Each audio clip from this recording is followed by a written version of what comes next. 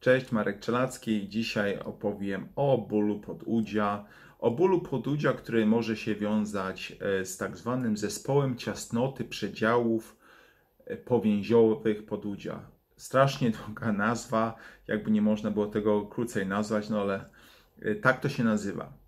A już tłumaczę o co chodzi. W podudziu mamy cztery takie przedziały powięziowe, jeden z przodu, drugi z boku i również z tyłu podudzia mamy dwa takie przedziały, jeden leżący bardziej powierzchniowo, a drugi głębiej. Y, przedział powięziowy składa się, jak sama nazwa mówi, z powięzi, która utrzymuje w takim przedziale właśnie i włókna mięśniowe czy mięśnie, Dalej będą również naczynia krwionośne tutaj i różne struktury nerwowe. Y, w takim każdym przedziale jest odpowiednie, panuje odpowiednie ciśnienie. Jeśli to ciśnienie jest w normie, to również nie odczuwamy żadnych dolegliwości.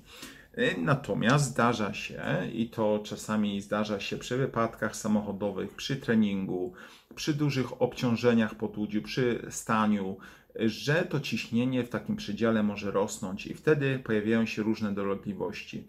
Ból może być ostry, a może być przewlekły. Stany ostre wymagają in, interwencji bardzo często chirurgicznej, po prostu, żeby to ciśnienie w danym przedziale e, zmniejszyć i odbarczyć struktury nerwowe, zmniejszyć obciążenie czy nacisk na e, naczynia krwionośne również. E, Natomiast stany przewlekłe dotyczą bardzo często osób pracujących fizycznie, trenujących, biegających, jeżdżących rowerem.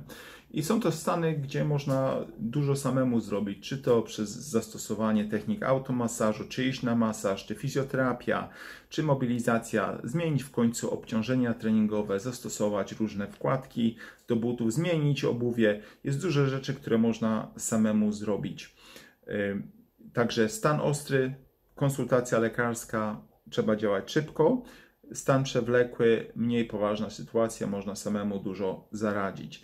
Do sytuacji zwiększonego ciśnienia w przydziale powięziowym dojdzie często przy urazach, na przykład przy wypadkach samochodowych, przy złamaniach w obrębie podudzia, tam gdzie zostaje przerwana ciągłość naczyń krwionośnych i powstaje i duży jest wylew krwi i płynów różnych i ten płyn i krew gromadzą się właśnie w takiej, e, w takiej przestrzeni, e, w tym przedziale i powstaje duże ciśnienie i wtedy mamy dolegliwości.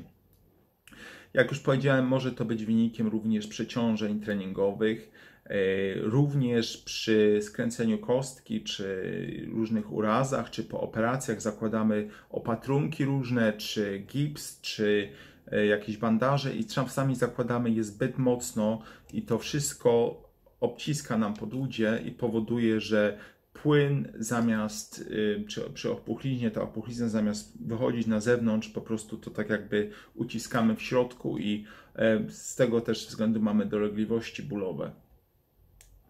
Y, co jest ważne, że przy ten zespół ciasnoty wiąże się z kilkoma takimi objawami i w oparciu o te objawy stawia się diagnozę. Przede wszystkim jest duży ból, ból rozpierający, y, zmienia się czucie w obrębie kończyny dolnej czy podudziu, y, występują takie parastezje, przeczucia, przeczulica skóry, siła jest również mniejsza, również taki ból rozwierania, rozpierania w obrębie mięśni, e, zmienia się kolor skóry, a również często ciężko jest wyczuć puls na samej stopie. To jest kilka takich objawów w oparciu o które stawia się diagnozę, które są ważne do e, diagnozy. To wszystko na dzisiaj. Mam nadzieję, że Wam się przydał, przydały te informacje. Nie zapomnij polubić mojego kanału, będzie więcej, dużo więcej informacji na różne y, rzeczy związane ze zdrowiem, z fizjoterapią i tak dalej. Także trzymajcie się i do zobaczenia wkrótce. Cześć!